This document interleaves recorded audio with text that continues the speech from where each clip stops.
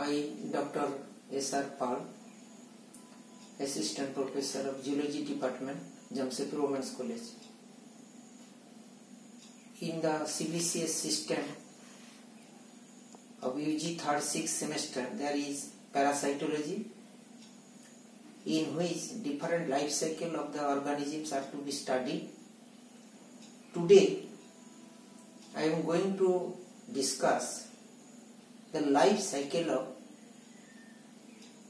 Trichinella spiralis. Life cycle of Trichinella spiralis, which is commonly known as Trichina worm. It was named by Owen in 1835. Trichina worm is a smaller nematode and uh, it is mostly found in USA and European country. The parasite actually digenetic. I mean it completes its life cycle in two hosts pig or rat and human. Pig is the reservoir host and man is the primary host because to complete the life cycle or to take sexual maturity any organism cannot be able to complete its whole process in the single host. So, so to take the sexual maturity, to get sexual maturity, it needs the help of another host.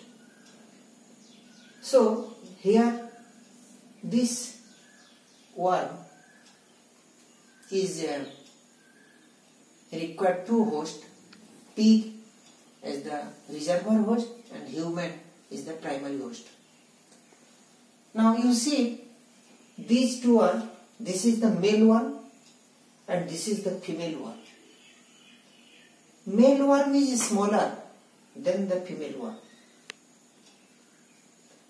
It has blunt end in male, blunt end, anus are shown here, mouth parts are there, and this one so sexual dimorphism means male and female are separate. Female here behave as the nature of viviparous attitude that when it gives birth the embryonic larva. Now we will now proceed through its description. Here you see that I have represented the two worms. It is male and this one the female. Both the worm are present in the human intestine and there they alive they present up to 2 to 3 months. They maintain their life cycle, start their life cycle, so they undergo copulation. And after copulation, generally male dies. The female then lays larva. That's why it is um, known as viviparous activity of the um, female species. The female lays larvae and these larvae are passes through the fecal discharge of the host. That means I have here shown that faces of men larvae or adult can be there. These fecal matter which are actually discharged in outside. What happened? Now it will it may be the chances of the ingestion by the swine. That means I have written here ingested by swine. That means this infected the larvae is the most infective form of the worm. It is ingested by swine and uh, through the uh, digestive passage it ultimately reaches in the intestine of the swine.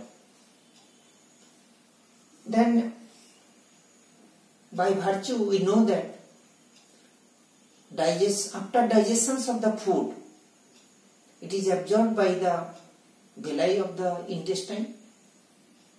So the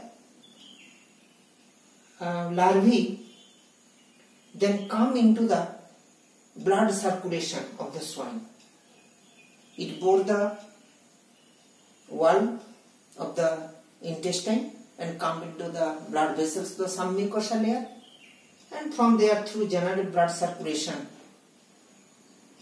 it reaches into the voluntary muscles of the swine. Voluntary muscles.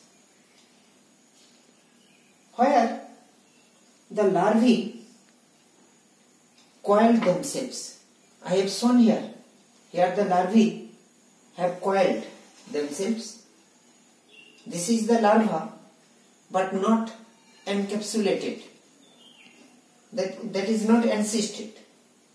This larva when come into the striated muscles of the swine it become coiled and start encysting position when encysted itself one thick protective covering forms around it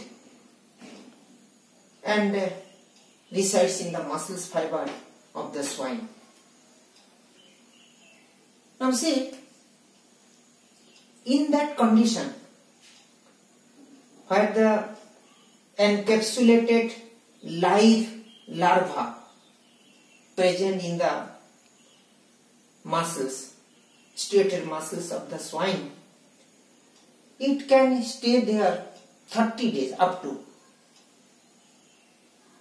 After that,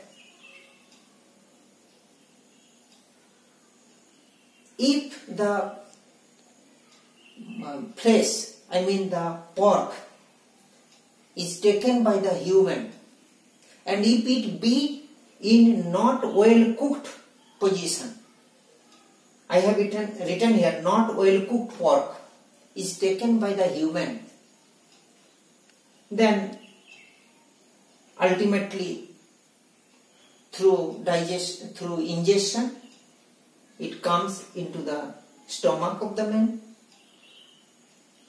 And uh, it reaches ultimately into the intestine of the human where it can survive up to 2 to 3 days. When it take molds and then after it uh, resides there up to 2 to 3 months in adult human intestine. So this is the life cycle. The parasite continues its cycle within human and the swine. That means here the transmission takes place through the taking of uncooked or not well cooked pork. And uh, here you see that I am going to represent here another events here. If the encapsulated larva infected larva is being eaten by the pig, then the cycle will continue within the same host. It has also have been studied that if it is been taken eaten by rat within the same species through their nature of carnivorism. When the same species feed the flesh of the same, I mean rat to rat, this tendency is known as carnivorism that will run in that way. That means the life cycle requires but the infection actually distributed from swine to human or from human to either when it transmit into rat or eaten by um. That means the infected larvae will proceed towards the human being through the bad attitude. I mean, if they uh, took it in um, non-overcooked positions or if it be eaten by pig or eaten by rat. This is the overall life cycle. Here it is representing here that the larvae have become coiled themselves and present in the striped muscles. Now we have to know that what will be their um, tendency of infection, what they actually cause. If they cause um, present in the human intestine, that sometimes causes um, problems. I mean, swelling of the lymphatic vessels. It also causes diarrhea, and uh, it has also happened here. You see that if the female remain female lays larvae, the larvae sometimes penetrates the intestinal wall and from intestinal wall pass into blood and then from blood to uh, blood vessels to venous blood to uh, liver then to heart then to lungs and again come back into the heart. That will be circulate in the human body. This tendency causes trichiniasis mean if it be transmit within the human body not uh, pass into the pig. So that will cause trichiniasis it sometimes happen. After copulation, male dies, female in the intestine try to bore the intestinal wall and uh, through venous blood travels in that way and uh, cause trichiniasis which indicates the symptoms of diarrhea, stomach pain, abdominal pain, such and such muscular pain in that way.